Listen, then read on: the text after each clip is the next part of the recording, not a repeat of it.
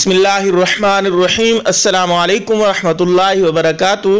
محترم سامعین اور ناظرین، جیسا کہ آپ کے سامنے ہے موجودہ حالات کہ کس طرح ہر بندہ پریشان ہے، اس وبا کی وجہ سے، اس بیماری کی وجہ سے ہر ایک پریشان ہے۔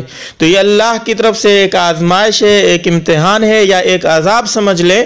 تو اس موجودہ صورتحال سے نکلنے کے لیے، اس پریشانی سے نکلنے کے لیے، آج کی ویڈیو میں میں آپ کو ایک ایسی دعا بتاؤں گا جو شب بارات میں آپ مانگے گے، انشاءاللہ موجودہ صورتحال سے رب تعالیٰ آپ کو بآسانی نکال دیں گے۔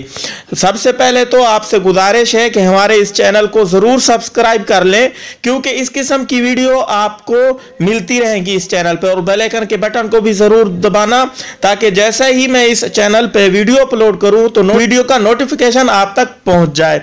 تو میرے بھائیو، سب سے پہلے کیا کرنا ہے؟ آپ نے اس رات میں درود شریف کی کسرت کرنی ہے۔ درود شریف کی کسرت سے انشاءاللہ رب تعالیٰ آپ کی پریشانیوں کو دور کریں گے۔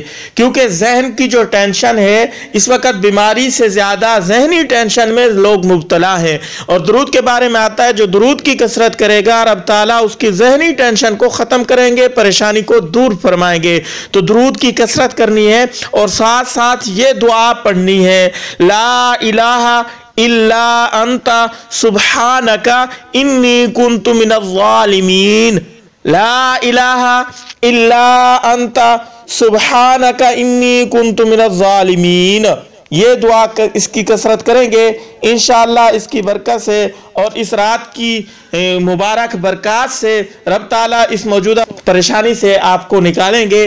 اس ویڈیو کو زیادہ زیادہ شیئر کیجیے گا دعاوں میں یاد رکھیے گا۔ السلام علیکم ورحمۃ اللہ وبرکاتہ۔